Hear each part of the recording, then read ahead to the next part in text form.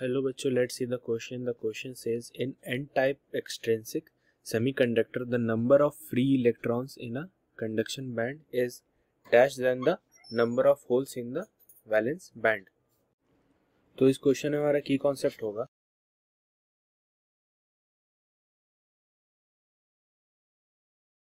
N type extrinsic semiconductor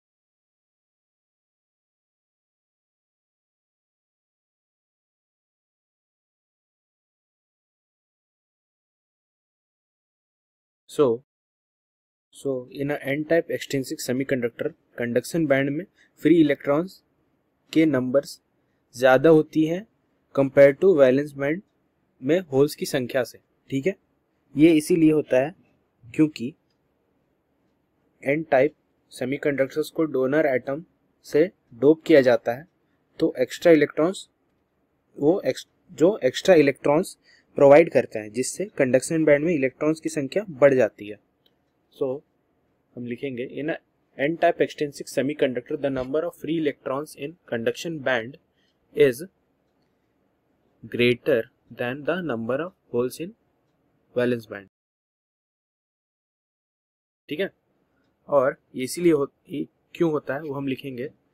This is because N type semi semiconductors are doped with donor atoms which provide extra electrons significantly increasing the number of free electrons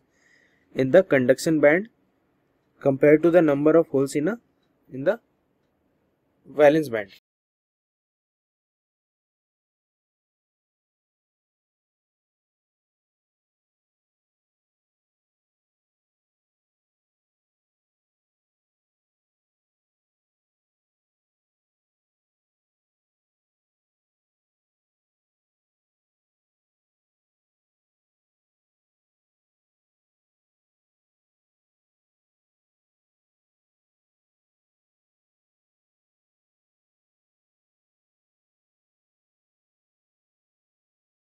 okay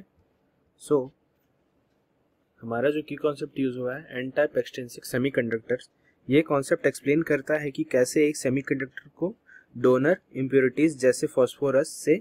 dope करके conduction band में free electrons की संख्या बढ़ाई जाती है, जिससे conduction easy होता है। Okay N type extrinsic semiconductor the number of free electrons in conduction band greater होता है than the number of holes in valence band okay? So hope you understood it well. All the best